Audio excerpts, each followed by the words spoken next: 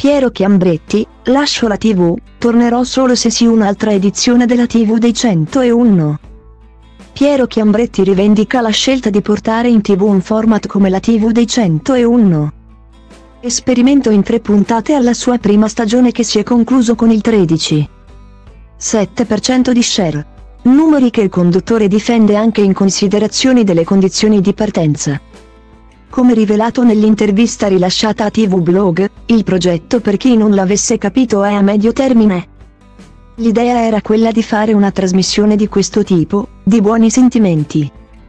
Che uscisse dalla logica di una TV volta ad una comunicazione aggressiva. L'altro obiettivo era inoltre quello di venderlo.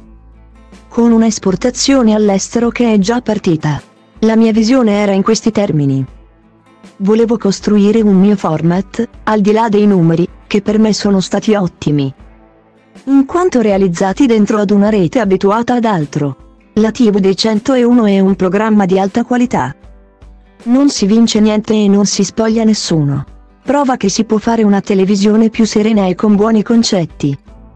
Non potrebbe esserci giorno migliore per commentare questo progetto, molto complicato ma portato bene a casa con una media complessiva del 14% di share. Dichiara ancora Chiambretti, sono entusiasta e felice per aver realizzato uno spettacolo di buonissima qualità. Inedito, senza gare, schiamazzi, scandali e gossip, dove i bambini sono stati trattati da persone intelligenti. Tutto questo fa bene alla televisione, a Canale 5 e soprattutto a me, che mi sono tolto da altri generi televisivi che avevano dato troppo. Infine, il conduttore anticipa la decisione di fermarsi in attesa di capire quale sarà l'evoluzione prevista da Mediaset per questo progetto. Un aspetto sul quale Chiambretti appare più che mai deciso e che tradisce la delusione per l'accoglienza ricevuta dal programma, sparisco nel nulla. Lascio tutta la televisione a chi la sa fare al pubblico che vuole altre proposte. Se tornerò, lo farò con questo programma. Non lascio la tv, molto più semplicemente aspetto un'eventuale conferma di questo esperimento o un'idea che attualmente nemmeno cerco. Ho fatto una trasmissione che ritengo buona, se interessa si rifà, se non ci riesco sono comunque felicissimo di averla fatta. La TV dei 101 mi ha cambiato la pelle. Quanto alle critiche, alcune vere e proprie stroncature, conclude con una stoccata. Ho la nostalgia di alcuni intellettuali che stroncavano TV con ironia. Mi mancano penne come il reste del buono. Beniamino Placido, Ugo Buzzolan. Quando la critica televisiva dava consigli. I critici di oggi scrivono con livore. Con la roncola, distruggono senza mai dare consigli che possano tornare utili.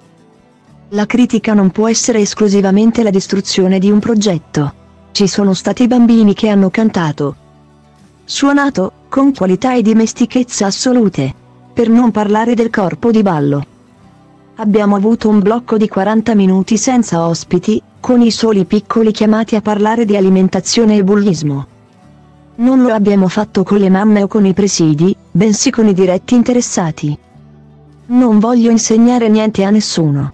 I miei programmi, e ne ho fatti tanti, hanno sempre diviso e spaccato.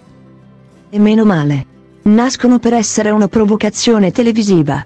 La TV dei 101 apre e chiude uno scenario che non era presente. L'editore è molto soddisfatto, con Pier Silvio, Berlusconi, NDR, c'è un rapporto di reciproca stima. Credo di aver portato a casa la missione.